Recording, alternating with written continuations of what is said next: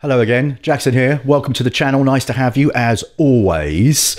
So, got a quite a tasty one for you today. There's a video I've been wanting to make for oh, ages and ages and ages and ages, but I was using this plugin just the other day and thought I've got to make this video because it is. It, I forgot just how ridiculously easy this is to use.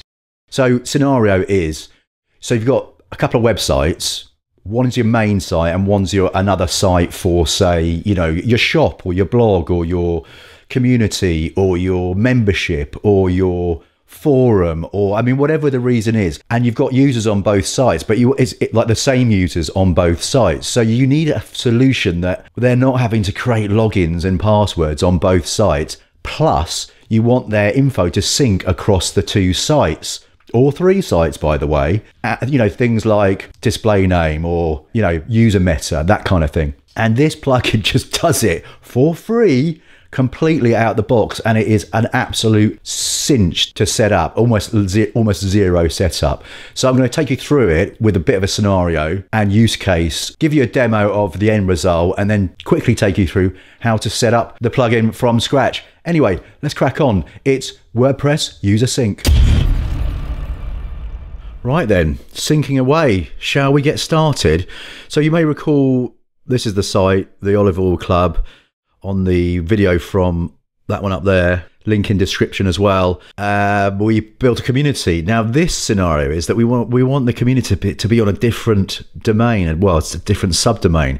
So we've got a main site and we've got a subdomain site. I mean, to be fair, they're both on subdomains, as you will see main site there. And over on our community site, we've got a completely different domain. And on our main site, we've got, you know, home about, we've got a shop, we've got a blog. So people are getting registered on this site and we've got a subscribe button. And on, on that page, there is a form that will subscribe us to this website, create a WordPress user. Now, this is exactly the same flow that you would do if you were using the standard register for this site WordPress version. And it doesn't matter what form plugin you're using, or even if you're using the default register form with WordPress, it's doing the same thing. It's creating a user. And by registering on the main site, we want to make sure that we've got access to the other site without having to re register or log in or remember passwords and all that sort of stuff. We just want to have access. So let's give it a go. Now I'm going to show you all the settings, which are remarkably simple in just a few moments, but this is it in action. Here we go. So we've got to subscribe to this site. Let's get Chris in, and it's going to be Chris at test.com. We'll put in just a random password. Subscribe. Okay. Okay, great. We've got a message here. Please check your email box for to confirm your subscription. Great. So let's go to the back end now. Now I've got um, no email service set up on this dev server. So if we just refresh our mail log here, we see we have, see we've got a little confirmation email sent to Chris. What does it say? So please confirm your submission. Probably should say subscription. Let's copy that. Let's go back to our front end. Excellent. Now remember, we've got join the oil club here. Refresh that. We're still looking to sign up or log in. Just absolutely no access at the moment. If we go back to our page, paste in our confirmation link, and thanks for subscribing. So we're subscribing. So we're going to go back to our other site. Now, if we refresh this, we should be a subscriber on here as well, and it should have logged us in. Believe it or not, let's give it a hard refresh. Shazam. It's as simple as that. I mean, well, you haven't seen how simple it is yet, but you see how the two sites, completely different sites, are now set up to have the users synced. And just so you can see that in the back end, here's our main site. You can go to users, subscribers, and there's our Chris. And if we go to the community site here, go to users, subscribers. There's our Chris. Fantastic. And you can actually see that Chris has actually been logged in here because it says log out of everywhere on his profile page. Brilliant. So, how the heck does this work? Well, it works really simply, like unbelievably. Um, let's get back to our main site and our plugins. And here we have installed WP Remote User Sync, updated a couple of months ago. To be fair, I've been watching this plugin for few uh, years actually, and hadn't been updated for ages, and it just recently got updated. And so I thought it was time to actually share this love with you, dearest WordPressers. So WP User Syncs. Now, if we go over to the settings on it, now this is the main site. Remember, you see, I've got this other site connected. So what I'm going to do is I'm going to actually just bin that site config. Are we sure? Yes, we are. Let's get rid of that. So it's now not connected. I'm just going to also just log out of Chris as well on the community and on his main site, just log him out everywhere just so that there's no confusion when we run this again from the get go.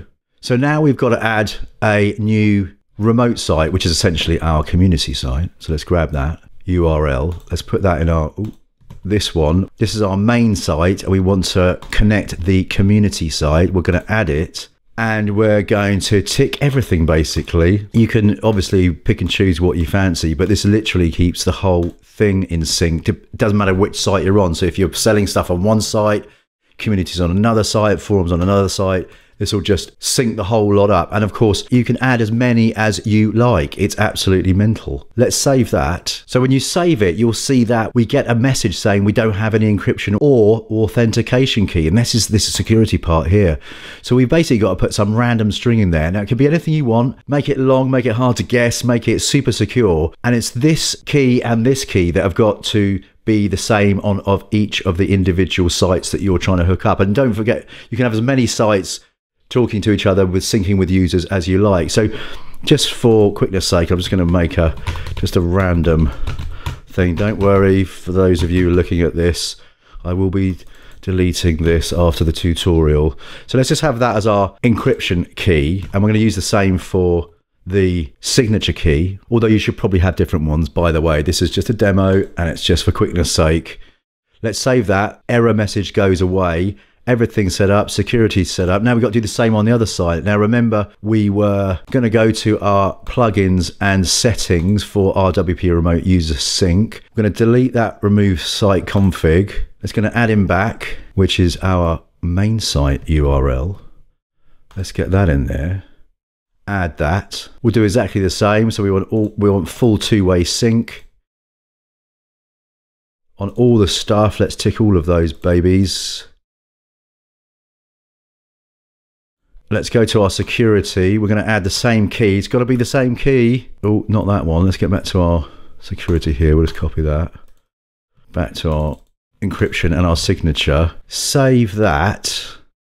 Both sites set up and you can start testing this stuff now. Okay, metadata is not saved. Let's make sure those are on and make, make sure we've got nothing missed on that one. Great. So let's test. Can we log in? Yeah, we can. Can we log out? everything's syncing across the two things incoming. Can we update and create and sync roles? Yes, we can. And I'm not going to go obviously through all these, but I suggest you do click all of them. You know, it's probably worth to double check the lot. And that's it. Right, shall we now? Remember we logged out of the other the, the other guy, Chris, whoever it was. Let's give it another go. So let's go back to our main site, go to our subscription again. And we'll have Claire and Claire at test.com. Another massively strong password. Subscribe. Please check your inbox. Let's get back over to our main site. That's our main site. Let's go to our mailbox settings. That's over here. Open that up. And our email logs. Here's our Claire. Let's get her confirmation link. Copy that.